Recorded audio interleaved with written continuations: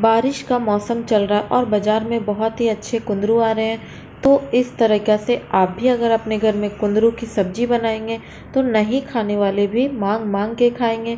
और सभी आपकी तारीफ़ करेंगे। हेलो दोस्तों, आप सभी का मेरे चैनल पे स्वागत है और आज हम बनाएँगे कुंदरू की मज़ेदार, टेस्टी और बहुत ही स्वादिष्ट सब्ज़ी।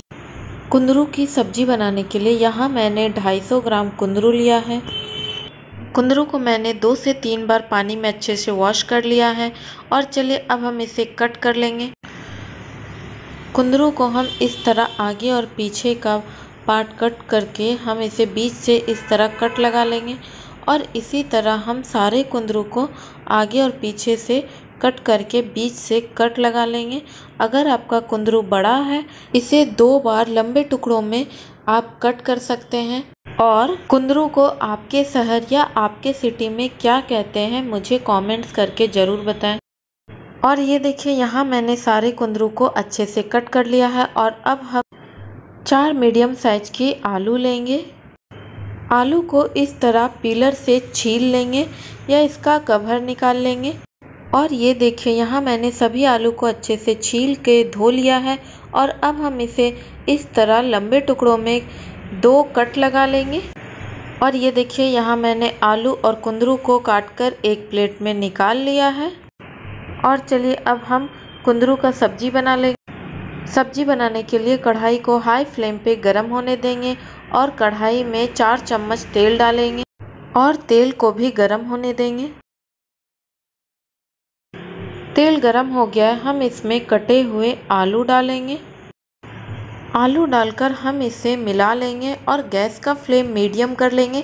मीडियम फ्लेम पे आलू में सुनहरा कलर आने तक या गोल्डन कलर आने तक हम इसे फ्राई कर लेंगे। अगर आपको आलू नहीं पसंद या नहीं डालना है तो आप आलू को स्किप भी कर सकते हैं।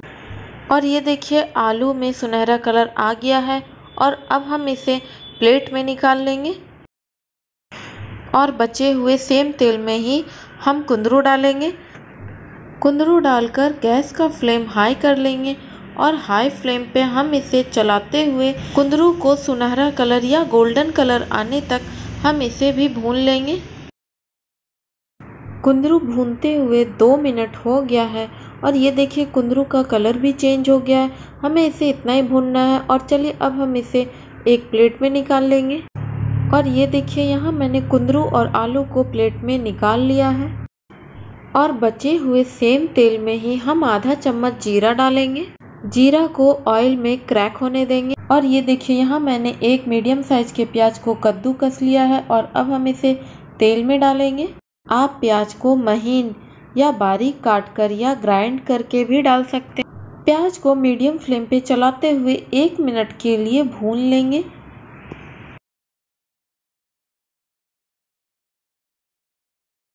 प्याज भुन गया है। हम इसमें हाफ़ चम्मच अदरक लहसुन का पेस्ट डालेंगे। पेस्ट डालकर हम इसे भी चलाते हुए मीडियम फ्लेम पे एक मिनट के लिए भून लेंगे।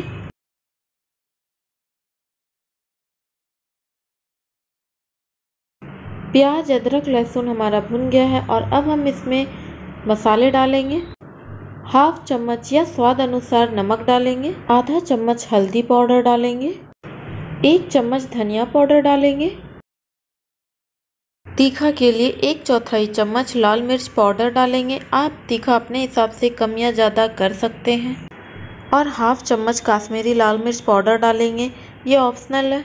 मसालों को चलाते हुए मीडियम फ्लेम पे एक मिनट के लिए भून लेंगे।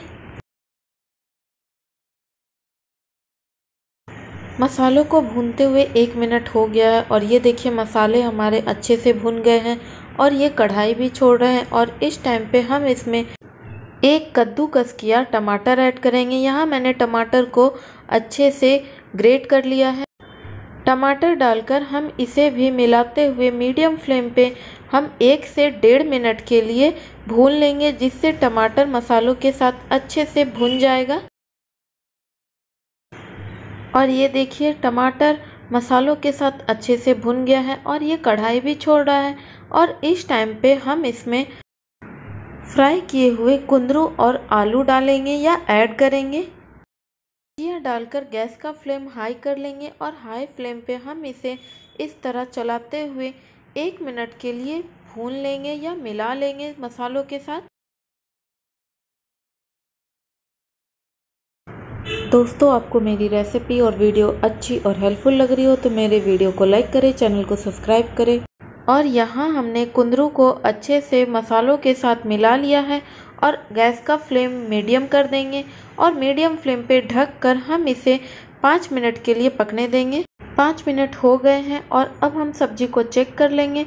ये देखिए, सब्ज़ी हमारे मसालों के साथ अच्छे से मिल गया है और सब्ज़ी में मसालों का फ्लेवर भी आ गया है। हम इसे इस तरह चेक करेंगे। सब्ज़ी हमारे अभी पकी नहीं है। हम इसमें एक कप पानी डालेंगे। पानी डालकर एक बार फिर सब्जियों को अच्छे से चलाते हुए मिला लेंगे। और ये देखिए, पानी में उबाल आ रहा है। हम इस टाइम पे इसे कवर करके या ढक कर 10 मिनट के लिए मीडियम फ्लेम पे पकने देंगे। 10 मिनट हो गया है और ये देखिए, सब्ज़ी का पानी सूख गया है। हम इसे मिला लेंगे और सब्ज़ी को चेक कर लेंगे। सब्ज़ी हमारे अच्छे से सॉफ्ट हो गई है। हम इसमें हाफ़ चम्मच गरम मसाला डालेंगे। गरम मसाला डालकर हम इसे एक बार फिर से मिला लेंगे। सब्ज़ी को मीडियम फ्लेम पे ढक कर दो मिनट के लिए और पकने देंगे, जिससे गरम मसाला का फ्लेवर सब्ज़ी में अच्छे से मिक्स हो जाएगा। दो मिनट हो गया है और ये देखिए सब्ज़ी हमारा अच्छे से बन के तैयार हो गया है। और चलिए अब हम इसे सर्व कर लेते हैं।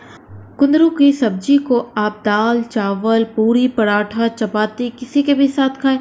ये खाने में बहुत ही टेस्टी और स्वादिष्ट होता है। सिंपल सी कुंदरू को आप इस तरीके से घर में ज़रूर बना के देखें। सभी आपसे मांग मांग के खाएँगे और आपकी तारीफ़ करेंगे। आपको मेरी वीडियो अच्छी और हेल्पफुल लगी हो तो ज़्यादा से ज़्यादा शेयर करें और अपने एक्सपीरियंस मेरे साथ ज़रूर शेयर करें।